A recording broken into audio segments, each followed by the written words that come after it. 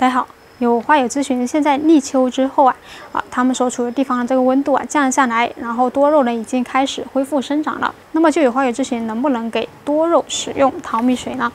那么答案是肯定的。为什么淘米水可以给多肉使用呢？是因为淘米水它是富含钾元素的，而多肉这种植物的话呢，它其实对氮和磷的这个需求是比较少的，对钾元素的需求是比较高的。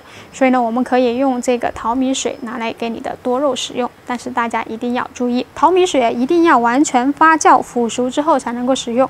如果没有完全发酵腐熟好的话呢，我们给你的多肉使用会导致多肉出现这个烧根烂根的情况，那么可能你的多肉会直接被烧死了。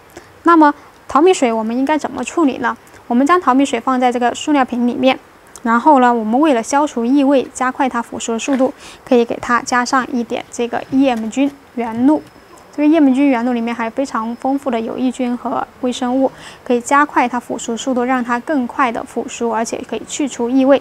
像这样子一塑料瓶的话呢，我们大概用三到五毫升左右的用量就可以了。